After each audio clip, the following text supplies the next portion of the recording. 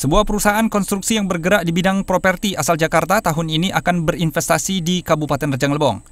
Rabu malam 8 Agustus 2018, pemilik lahan dan investor baru saja menaikkan kontrak kerjasama berkenaan dengan rencana tersebut. Investor yang bernaung di bawah PT Multi Inovasi Bersama ini akan membangun tiga tower kostel di Kecamatan Curup Utara, tak jauh dari kampus IAIN Curup. Kostel adalah tempat kos berfasilitas layaknya sebuah hotel yang dikelola dengan sistem manajemen sebuah hotel. Saat ini pihak investor tengah mengurus perizinan dan sejumlah persiapan.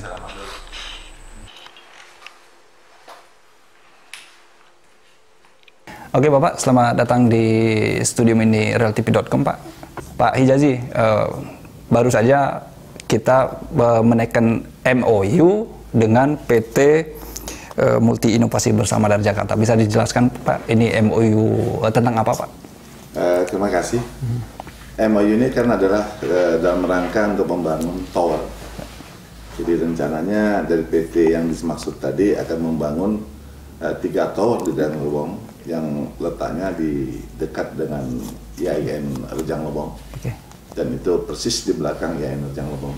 Hmm. Jadi kita tadi baru sepakat ya. melalui notaris hmm.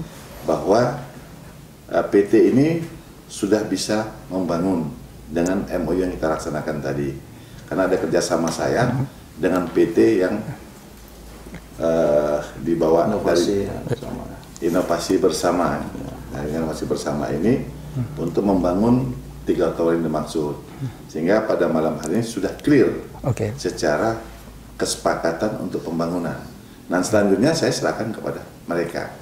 Oke Pak, artinya ini semacam apa, bangunan Pak ya, bangunan seperti properti Pak ya, bangunan gedung yang nanti sifatnya seperti apa Pak? Apa residensial atau hunian maksudnya atau memang sewaan atau seperti apa Pak? Kalau itu teknis mereka. Teknis, Jadi saya ah. hanya kerjasama lahan. Oke. Okay. Jadi oh. saya tidak ikut uh, ke dalam manajemen. Oke. Okay. Saya hanya uh, kerjasama tentang lahan yang akan dibangun. Oke, okay, nanti istilahnya eh, bulan-bulan uh, berapa Pak akan direalisasikan, Pak? E, kalau bulannya kan kita baru baru sepakat tanda tangan malam ini MOU-nya. Ini nanti dikeluarkan oleh notaris. Hmm. Ini mereka segera secepatnya mengurus izin persyaratan pesan bangunan, okay. termasuk UMB, lingkungan hidup, ya. Dia semua harus dilengkapi. Dan insya Allah e, dengan syarat-syarat selesai, paling lama dua hari itu paling lama izin hmm. sudah terbit paling lama. Oke, artinya ini adalah step awal Pak ya. Oh. Tekan MOU ini nanti selanjutnya diserahkan diproses oleh de, dari PT Multi Inovasi bersama selaku developernya Bu ya. Oke. Konsep yang diusung ini M Costel dan ini sangat baru mungkin di Indonesia pun mungkin kita juga baru dengar. Bisa dijelaskan M Costel itu sendiri apa sih Bu? Sebenarnya M-Hostel itu sendiri artinya hunian modern, yeah. kos-kosan modern mm-hmm. dengan fasilitas hotel mm-hmm. dan manajemen hotel. Oke, okay. apa sih bedanya dengan kos-kosan pada umumnya, Bu? Nah, di sini kami menyediakan fasilitas. Yeah. Baik untuk istilahnya untuk para penyewanya mm-hmm.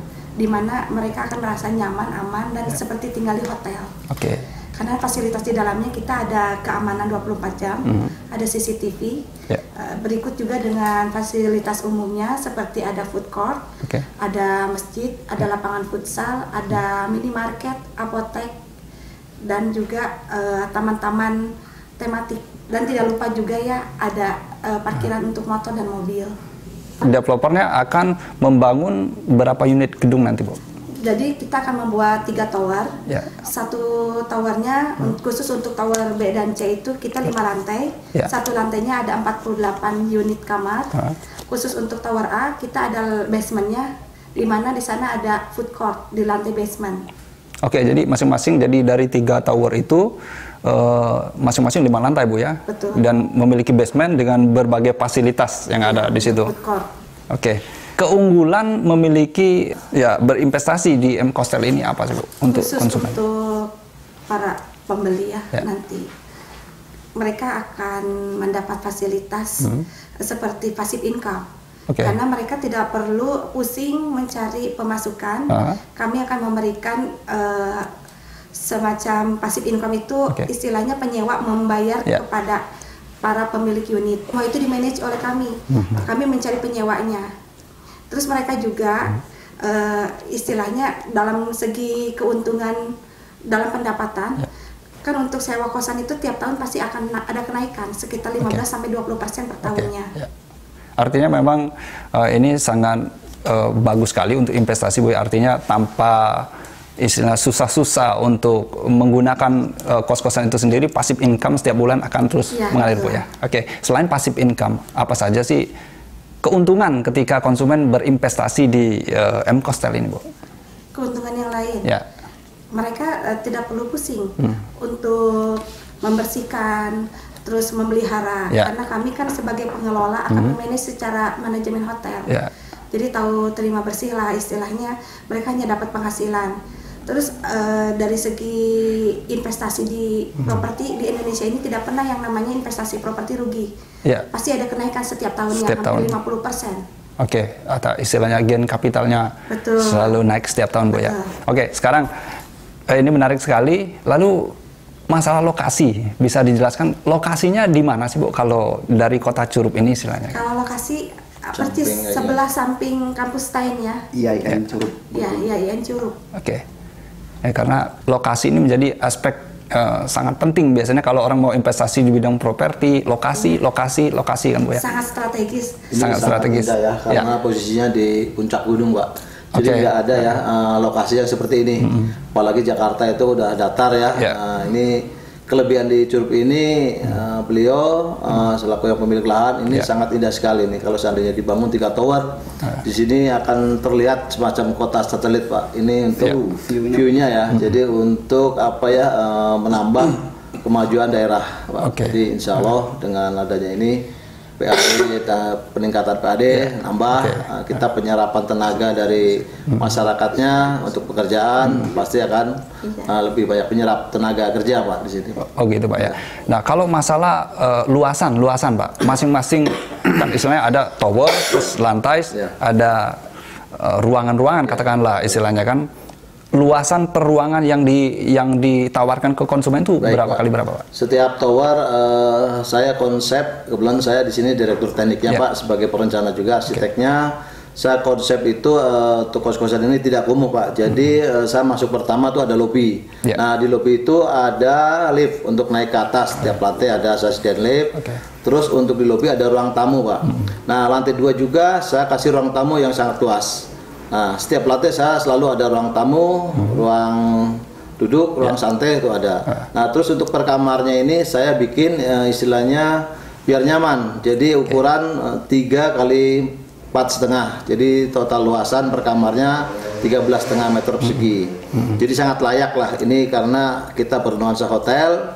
Uh, jadi kita ingin mensejahterakan uh, apa ya masyarakat atau mahasiswa yang kuliah di ini biar belajar lebih nyaman itu. Oke, kalau konsep M Kostel itu sendiri Pak, biasanya umumnya kan kos-kosan itu ada yang murni ya. kosong saja, ada juga plus mebelernya. Kalau yang M Kostel sendiri bagaimana? Pak? Saya sediakan uh, komplit Pak dengan mebeler. Ya. Uh, di situ saya uh, mebeler juga mungkin uh, dengan kelas kualitas yang bagus Pak ya, ya. dengan finishing pakai APL, kasurnya yang nyaman uh, meja belajar, lemari ya. gitu. Jadi sudah komplit. Jadi anak mahasiswa tinggal bawa baju ya. ya. Nah untuk media ininya saya kasih televisi pak. Televisi. Ini, ya, ya, untuk promonya. Gitu, Setiap ya. ruangannya pak. Ya, ya. Nah, nah kalau untuk kapasitas pak, kalau ini untuk kos per per satu orang atau bisa lebih dari dua orang dalam satu ruangannya uh, Di sini kami batasin maksimal dua orang pak, cukup ya. hmm. ya. Karena kalau hmm. terlalu banyak orang nanti uh, ruangan nggak nggak sehat gitu kan sangat mengganggu ini jadi maksimal cukup dua orang. Oke. Okay. oke okay, pak. Mungkin ke pak ya, direktur marketing, marketing pak ya. dan uh, daerah. Bisa nggak bapak uh, kasih untuk meyakinkan ke konsumen ke publik di luar sana karena ini adalah produk baru program baru di Kabupaten Rejang Lebong khususnya pak? Bisa nggak bapak berikan uh, meyakinkan untuk konsumen kenapa mereka harus berinvestasi di M Costel ini pak Tentunya saya sebagai direktur marketing untuk wilayah Sumatera ya, hmm.